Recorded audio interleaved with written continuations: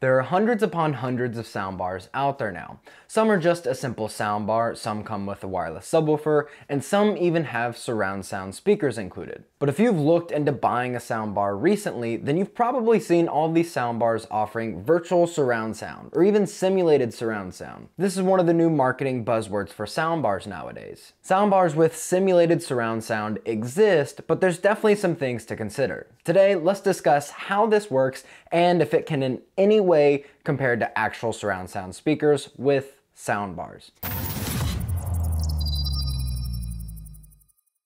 What's up guys, Jonah Matthes here. I mainly focus on soundbars and home entertainment technology. If this is something that you're into, consider liking the video. This helps this video reach more people and would help me out a lot. Thank you very much. So let's get right into this. There are a few different types of soundbars that claim to have surround sound. 1. Soundbars with two or three channels of audio with no actual surround speakers or speakers that redirect sound from the rear or the sides of your room.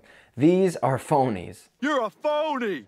Two, soundbars that claim to have 3D surround sound, but do so by bouncing audio from specific speakers on the soundbar to make it sound like the audio is coming from the rear of the room. And three, soundbars that have dedicated surround sound speakers. So now that we know about all of these, let's talk more about the first two types a little more in depth and exactly what virtual surround sound is. So starting with the first type, standard soundbars with two or three channels of audio that only project sound forwards.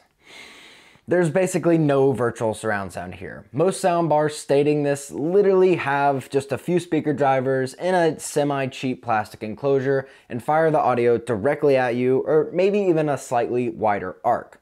These soundbars can't really process audio in a way to make it sound like it's coming from behind you. It just doesn't work like that, it's literally not even possible. For the second type, soundbars that have angled speaker drivers that try to bounce sounds off of walls. Some examples include the Sonos Beam, the Samsung HW S60A, and even the older JBL Bar 5.1 back from 2019. Again, these soundbars aim to bounce sound off the walls to get sound into the sides of your ears or even the very back of your ears. Some of the better models will definitely do some audio processing to get it to work as intended. However, this isn't the most ideal situation because how well this can work is largely dependent on the room that you're in. Let's say you're in a large living room where on your left is a wall and on your right is an open space. Audio coming from the left side of the soundbar will simply bounce off the wall into the left side of your ear or even the back side of your ear. But any audio coming from the right side of the soundbar is basically going to be lost in the right side of the room. There's not a wall equidistant from the left side of the room for the audio to actually bounce off of. This can really throw you off when watching movies or TV. It's going to sound odd, and unfortunately, there's not really anything you can do about it. You can try adjusting the layout of your room, but we both know that's pretty unlikely to happen. With a setup like this, you're going to miss out a lot on the amount of surround sound that you should be hearing. Most of the movie's sound design just won't be heard correctly, resulting in a okayish movie experience, but still far from a desired cinema experience. The ideal scenario for a soundbar attempting to create simulated surround sound is a rectangular room with the TV and soundbar placed in the center of one of the short-sided walls. This makes it so that both walls are equidistant from the soundbar itself and not too far away, which allows for the audio to bounce around the room as intended.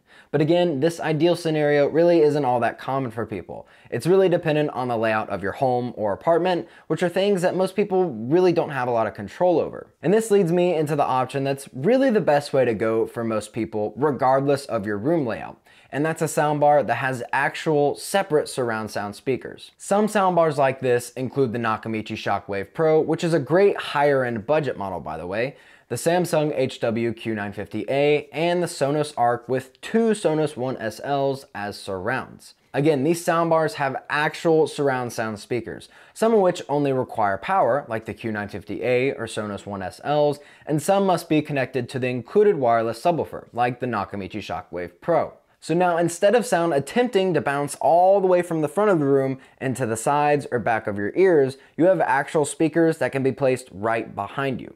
Now some people may say if you don't have any room behind your main seating area, then you shouldn't use surround speakers. While it's definitely ideal to have surround speakers a few feet from the main seating area, it's not really required. I've tested numerous systems with surround speakers, with them literally sitting like right here, right off to the sides of the couch.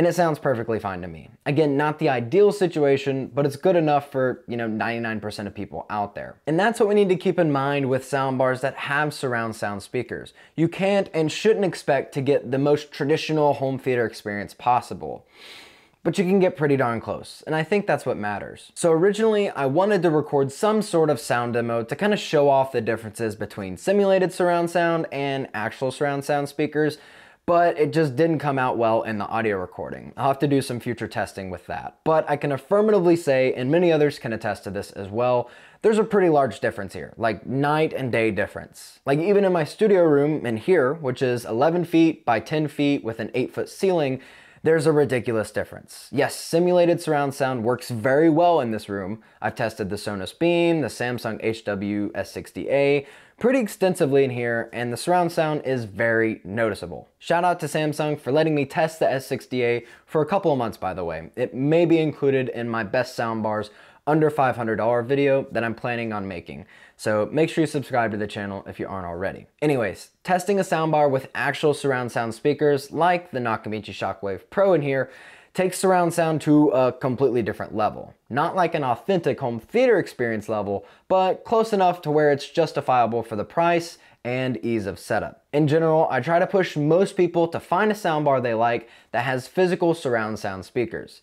They are super simple to set up and can be used in most room layouts and make the movie experience just that much better. Of course, I understand when people don't want to dish out, you know, 700 plus dollars for a soundbar, but for anyone that really enjoys the movie watching experience, it's really a game changer. The only times I really recommend soundbars with simulated surround sound is when movies and TV aren't a big deal for that person, they have a very small room with an optimal room layout, or in general, their budget just isn't very high for a soundbar.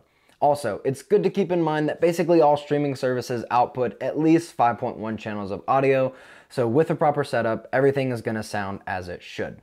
With simulated surround sound, there may be some upmixing going on, which would provide a less authentic surround sound experience. So if you're not looking to go all in on a full surround sound soundbar, then I would definitely take a look at the Sonos Beam or the Samsung HW S60A.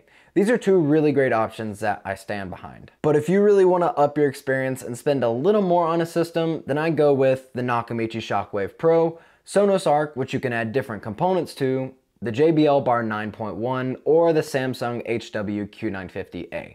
I've made individual videos on all of these by the way. Links will be in the description to those videos. There are a couple other high-end options that have been announced and released this year as well. And I'll be making videos on them when I can finally get my hands on them. Specifically the Klipsch Cinema 800 and 1200 and the Sony HT A7000. Really looking forward to these systems. Also, big thanks to Nakamichi for coming up with this video idea for me. I got on a call with two of their techs a while back to discuss this video idea and they brought up some really good points that I discussed in this video. I hope you guys enjoyed the video. If you learned anything, again, I'd appreciate it if you'd smash that like button. Thank you all for watching and I'll see you in the next one. Bye.